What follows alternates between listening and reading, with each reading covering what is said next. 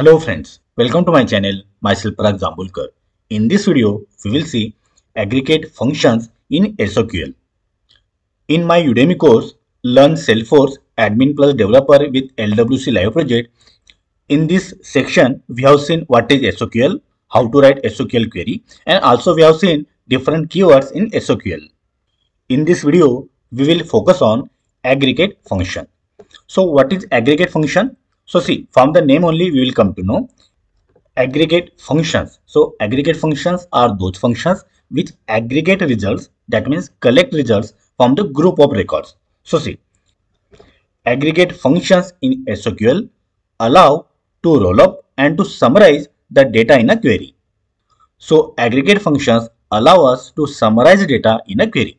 So what kind of summarization we can do? So see, we can find out average we can find out minimum value we can find out maximum value we can find out sum.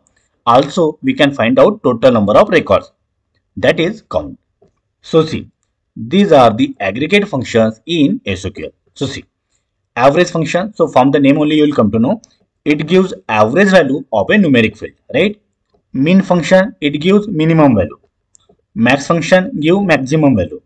Sum function gives sum these operations we can perform on the numeric fields, right? We can perform on the numeric fields. Numeric fields means columns which has only numbers, right? Then we have count and it gives number of rows, number of records which matches to some particular criteria.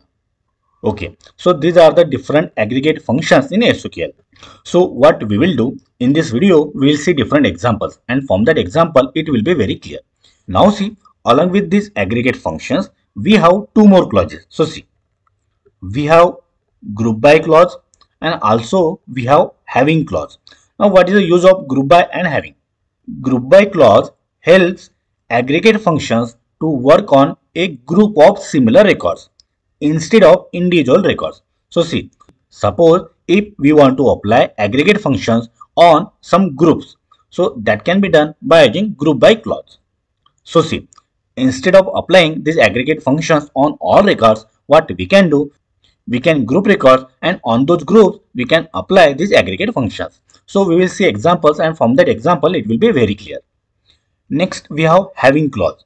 So keep in mind, having clause can be used along with group by clause and it is similar to where clause. So see, already we have seen what is the use of where clause. You can go through these videos. From that, you will come to know what is the use of where clause right? So see along with having clause we can use aggregate functions. But along with where clause we cannot use aggregate function. That is a major difference. So see having clause that we can use along with group by clause right? And in having clause we can use aggregate functions. But in where clause we cannot use aggregate functions. That is the difference between where clause and having clause Okay, now we will see some examples and from the examples it will be very clear. Now we will see our first aggregate function that is average, right? Now see, I am copying this query by control C. Here I have logged in in Salesforce Developer Org. Okay, now see, we will click on this gear icon. Then we will click on Developer Console. Okay, so Developer Console is open what we will do, we will open one object, we will see what are the different fields and also we will see some records and then we will apply some queries. So see, we will go to file, open resource. Here we will search one object. Suppose we are searching opportunity. So see, we got this. We will double click on this. Okay. So see, this is opportunity object and these are the different fields, right? Suppose I want name then I want amount. So see, I have pressed control button and by that I am selecting multiple fields. Then we have to click on query. So see, we will click on query. So see, here we got one query, right? Now we will click on execute. Okay. So see, here we got all the records. So see, in opportunity object or opportunity table, we have total 31 records or 31 rows, right? And we have selected these three fields, right? Name, amount and lead source. Now see, what we will do, we will run SOQL queries which uses aggregate function. So see, here I have written one SOQL query. So what we are doing, see, from the opportunity object, I am printing average of amount. So here you can see these are the different amount values, right? Now what we want, we want average of this. Average means what? Sum divided by total number of records, right? So see, I have written SOQL query. Here I am applying average aggregate function. Now we will click on execute button. So here you can see we got average, right? So this is the average. Now see, this is the average of all records, right? This is the average of all records. Now see, suppose I want different average for purchase list. So see, suppose there are 3 4 records of lead source purchase list. So I want separate average for the purchase list. Then suppose I want different average for the trade show. Suppose I want average for the partner. Suppose if I want average for the employee referral, right? So suppose if I want average for the different lead source, so that also we can do, right? So for that purpose, we can use group by clause. So see, group by and name of the column, name of the field. What is the name of the field? Lead source. So see, here I am typing lead source, right? Okay. Now again we will click on execute. So here you can see. See, previously we got total average, right? Previously we got average of all the amounts. Now here we got average of different lead source. But see, from this we cannot find out whose average is this, right? So see what we will do along with this average we will print lead source like this. So see what we want lead source and average. See again we will click on execute button. So now you can see for web this is the average. For phone inquiry this is the average.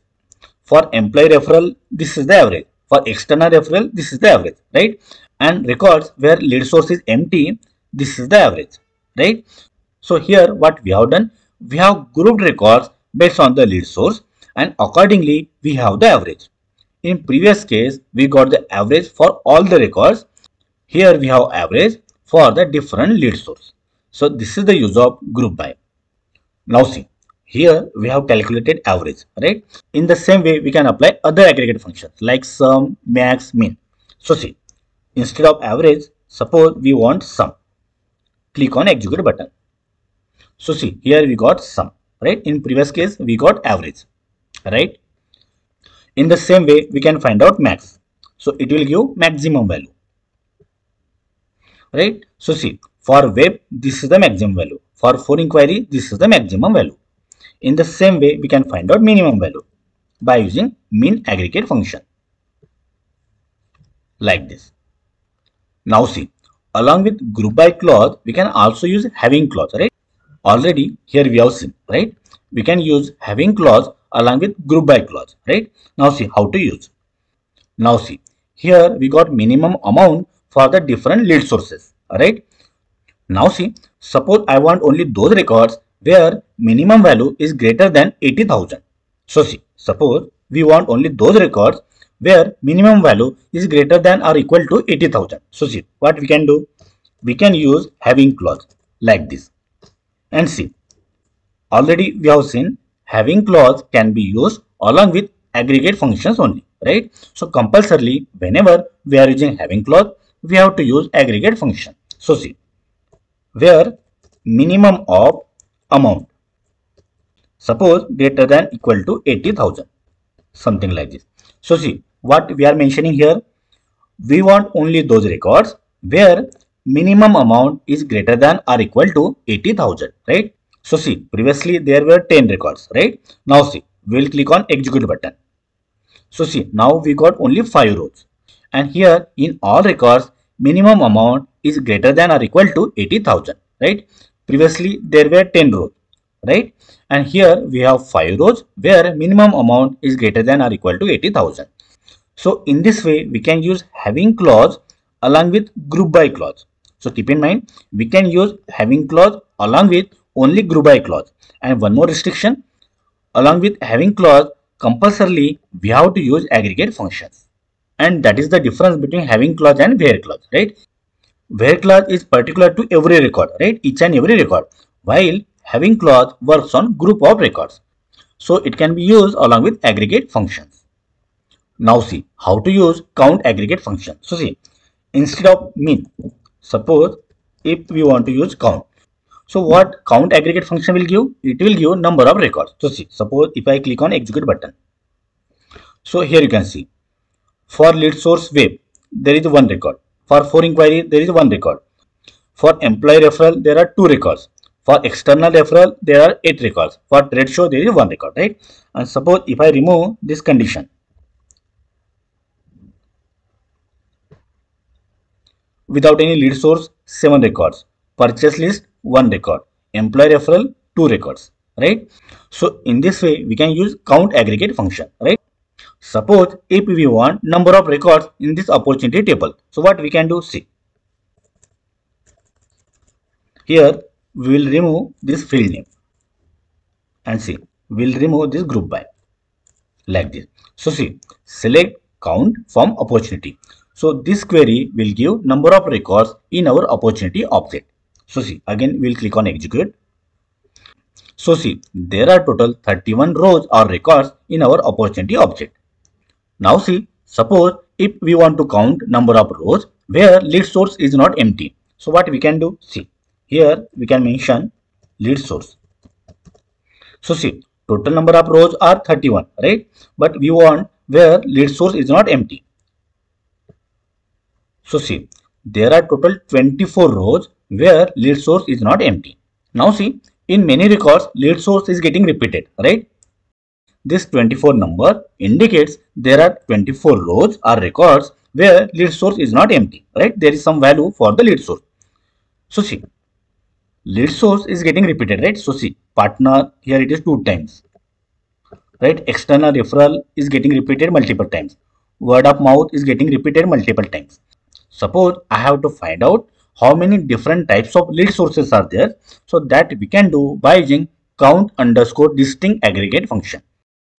So here you can see count underscore distinct. It returns the number of distinct non-null field values matching the query criteria. Now see, suppose from the lead object, we have to find out what are the different number of companies. So that we can do by using this. Suppose from the opportunity, we have to find out different types of lead sources. So that we can do by using this SOQL query. We'll see one example. Now see, suppose we have to find out different types of lead sources in opportunity object. Here we can use aggregate function distinct like this. Right? Select count underscore distinct in bracket lead source that is the field name from opportunity that is object name right now see we'll click on execute so see, there are nine types of lead sources.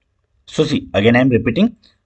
So there are nine types of lead sources in opportunity object and those are not null. Only not null values are considered. So there are total nine types of lead sources in opportunity object. So in this video, we have seen different aggregate functions. So we have seen average, mean, max, sum, count, count underscore distinct aggregate function and also we have seen group by clause and having clause. In this video, we have also seen difference between having clause and where clause. I will provide this blog post in my Udemy course. In resources, you can find it. Okay, so we will meet in next video. Thank you.